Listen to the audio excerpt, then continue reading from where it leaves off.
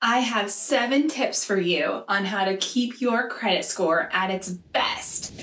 Tip number one always pay your bills on time.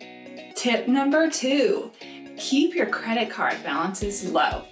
Tip number three pay off your loans as soon as possible. For example, if they give you five years to pay off your new car loan, try to pay it off as soon as possible, maybe even in three or two years.